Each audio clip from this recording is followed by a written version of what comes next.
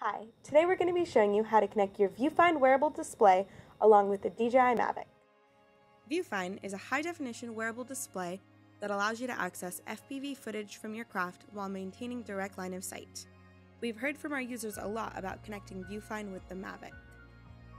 Unlike the Phantom or Inspire series, the Mavic doesn't have an HDMI output, so in order to use any external monitoring solutions, you'll have to use an Android tablet that has an HDMI output. Here we have the NVIDIA Shield running the DJI Go app. You will connect the Mavic through the USB port on the tablet and then pull the video feed from the HDMI mini output. Now that your Vufine is connected to the NVIDIA Shield, it'll mirror the DJI Go app.